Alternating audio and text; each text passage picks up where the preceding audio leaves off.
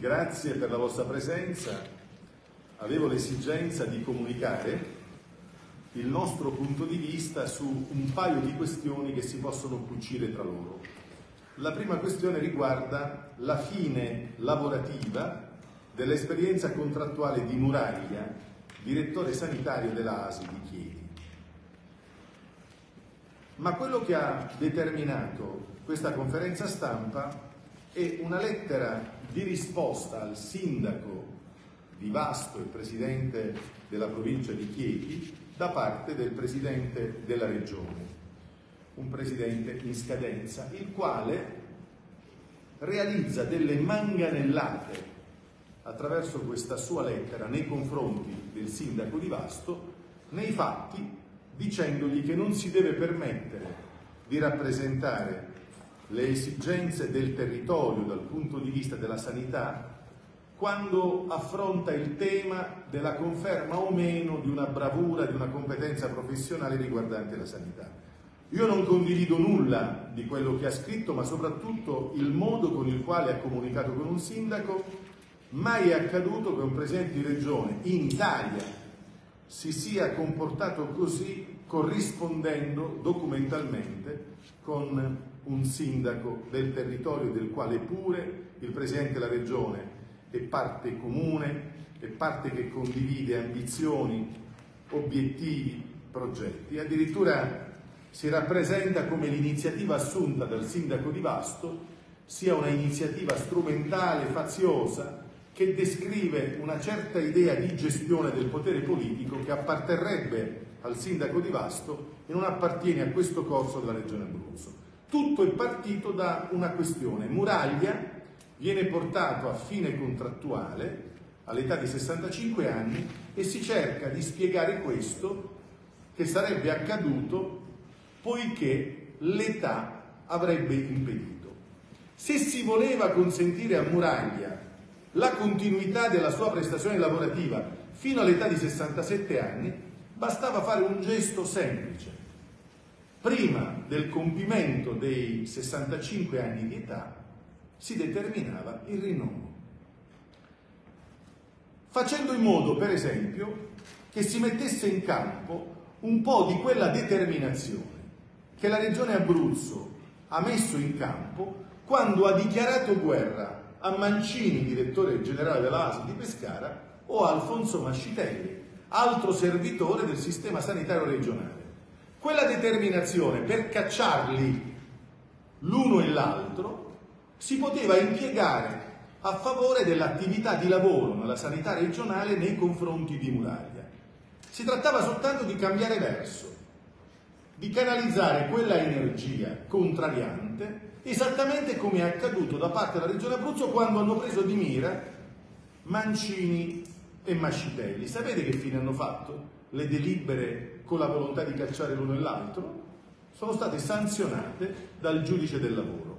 Naturalmente io mi farò carico di ricordare alla Corte dei Conti che cosa è accaduto, perché la Corte dei Conti sta riflettendo, noi faremo in modo che la riflessione della Corte dei Conti sulle sanzioni comminate da parte del giudice del lavoro nei confronti della Regione, quando ha interrotto le attività di Mancini e di Mascitelli, generando anche risarcimento danni, quel risarcimento danni adesso è giusto che evochi anche la lettura e il pronunciamento della Corte dei Conti.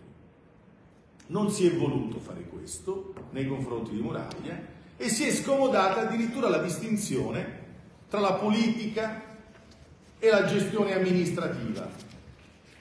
Intanto Muraglia era in esercizio come direttore sanitario. Organizzare un atto amministrativo che quando non era stato ancora compiuto il 65 anno di età era un atto che si poteva assumere nutrito anche dall'indirizzo del Comitato Ristretto dei Sindaci. Io sono stato presidente di giunta regionale e quando il Comitato Ristretto dei Sindaci della ASL di Teramo mi ha chiesto la conferma del direttore sanitario, ho proceduto in quei termini, ho sempre ascoltato e nulla è accaduto, non ho avuto dei giudici del lavoro che hanno sanzionato. Ma c'è un esempio ancora più eclatante quando la politica interviene stabilisce destini, colloca carriere. Mi è venuto in evidenza quello che ha voluto fare la Regione Abruzzo nei confronti di tal Dolfi.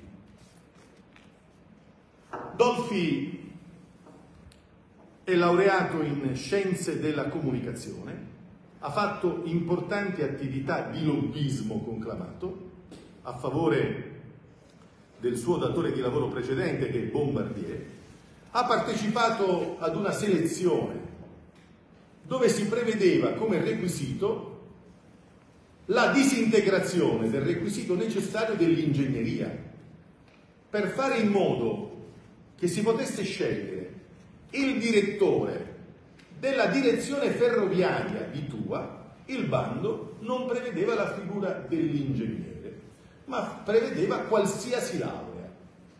A questo bando naturalmente arriva primo Dolfi, in ragione del fatto che aveva appunto l'esperienza condotta con Bombardier come uomo delle relazioni e del legittimo impegnarsi in attività di lobbismo, assume la carica di direttore della direzione ferroviaria e io voglio ricordarvi quali sono i compiti cui attende e garantisce il direttore della direzione ferroviaria di Tua, con la laurea in scienze della comunicazione. Lo dice anche De Rita, che è una laurea importante. Non però per fare il direttore delle ferrovie, controllare e monitorare il rispetto degli obiettivi e standard qualitativi di servizio TPL attraverso gli indicatori di qualità e di performance connessi all'esercizio svolto. Coordinare i responsabili e gestori di processo fornendo indirizzi e linee guida. Coordinare e controllare l'esercizio del trasporto ferroviario dal punto di vista anche del materiale rotabile, nonché certificare la vestizione del servizio e la relativa consuntivizzazione. Gestire le emergenze che si manifestano durante l'esercizio del servizio ferroviario. Ma che Dolfi sia potuto arrivare a cotanto merito conclamato è chiaro che è la conseguenza della risposta ad un bando che aveva cancellato come requisito fondamentale quello dell'ingegneria. Prima di Dolfi c'era un ingegnere, e prima dell'ingegnere, prima di Dolfi, c'era un altro ingegnere, addirittura con specializzazione in ingegneria dei trasporti. Ma la cosa che conclama e che mi aiuta e mi fa capire quanto Muraglia sia stato sfortunato, ed è stato sfortunato perché non ha indovinato le frequentazioni, è che Dolfi a un certo punto diventa anche tecnico, esperto di fiducia del Presidente. E lo diventa Dolfi in un momento nel quale la direzione ferroviaria non ha ancora centrato un grande obiettivo finanziato dal master plan per l'Abruzzo, 5,5 milioni di euro per la piastra logistica intermodale nella zona industriale della Val di Sangro e nella stazione di Saletti. C'è da fare una perizia di variante, da quattro anni e non si firma la perizia di variante. Io credo che la laurea in scienza della comunicazione possa essere utile nel sovraintendere ad una perizia di variante riguardante la piattaforma logistica. Allora io propongo un patto, propongo una soluzione. Vengo dalla scuola dell'avvocato Giuliano Milia, che prima di tutto è un civilista, penalista, penalista civilista, propongo un patto. Recuperiamo Muraglia come direttore della direzione ferroviaria, poiché nei fatti resta libera, e magari Muraglia potrà firmare la perizia di variante riguardante la piattaforma logistica. E sono convinto che questa sì potrebbe meritare una lettera di segno comprensivo da parte del Presidente della Regione.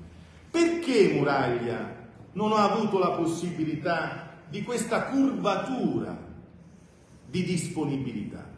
Perché Dolfi viene collocato, sussunto come staffista del Presidente quando le emergenze riguardanti quella gestione testimoniano che tutto andava fatto salvo che sollevarlo da quella direzione così impegnata rispetto agli obiettivi del master plan, ma io aggiungo anche delle nuove partite del contratto di servizio che noi dobbiamo garantire. Penso che sia una questione di sensibilità, di simpatia, di sintonia di frequentazione, di condivisione di obiettivi. Non credo che c'entri nulla di Bombardier.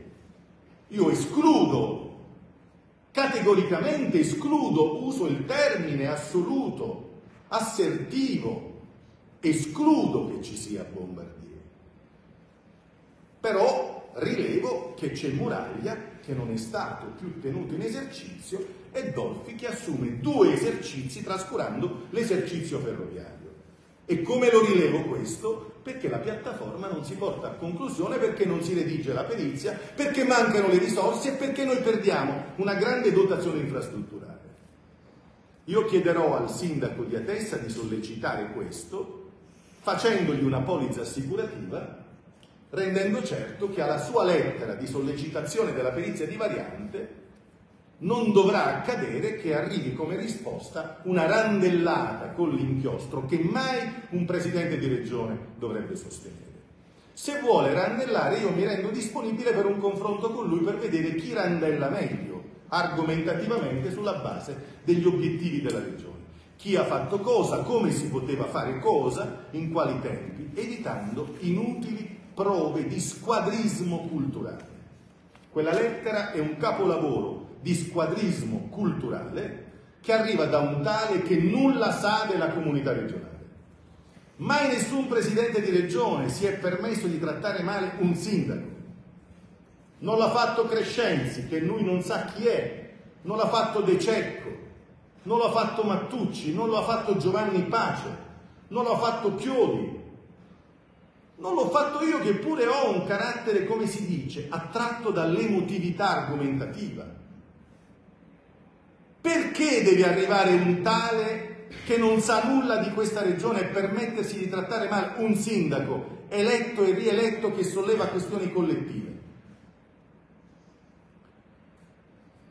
Tralascio le promesse fatte di cui ci sono le prove anche negli atti processuali di nomine in vicende sanitarie che sono state promesse ancorché poi dimostrate senza profilo giuspenalistico. Essere assolti giuspenalisticamente per avere proposto un incarico sanitario, essere assolti non vuol dire che il fatto non c'è stato. Il fatto c'è stato ma non ha avuto rilevanza penale. Spostatevi su Pescara a quello che è accaduto di recente, ad un processo che si è concluso con un'assoluzione. Il tema era una promessa, credo, di un ruolo attorno alla direzione sanitaria che non ha avuto riconoscimento del profilo giusto penalistico, ma il fatto è accaduto. Allora si ricomincia a rispettare i sindaci, il sindaco di Vasto e i sindaci si ricominci ad assumere il governo della cosa pubblica come una questione complessa che si fa insieme e si eviti di dolfizzare i ruoli pubblici riguardanti i diritti fondamentali. Perché se la questione è di entrare nelle simpatie non è previsto dalle leggi che per avere la conferma di un ruolo bisogna essere simpatici o corrispondenti.